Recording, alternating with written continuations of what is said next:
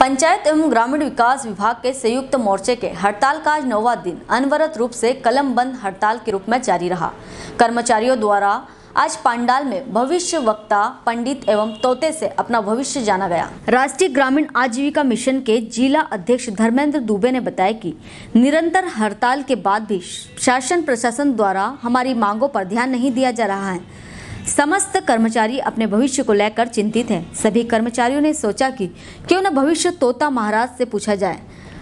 पंडाल में उपस्थित महिला कर्मियों ने तोते से पूछा कि हमारी मांगे कब पूरी होगी और प्रदेश के मुख्यमंत्री हमारी मांगों पर कब ध्यान देंगे। तोते ने चिट्ठी उठाकर बताया कि राखी आने वाली है। मामा जी राखी के मौके पर सभी कर्मचारियों की मांगे पूरी करेंगे। संयुक्त मोर्चे की जिला टीम द्वारा विकासखंड स्तर पर भी अपनी आमद दी जा रही है। इसी कड़ी में जनपद पंचायत भगवानपुरा के सभागार में बैठे हुए ग्राम पंचायत सचिव एवं रोज़गार सहायक के साथ ही अन्य कर्मचारियों के साथ जमकर नारेबाजी की गई खरगोन ऐसी जयंत गुप्ता की रिपोर्ट।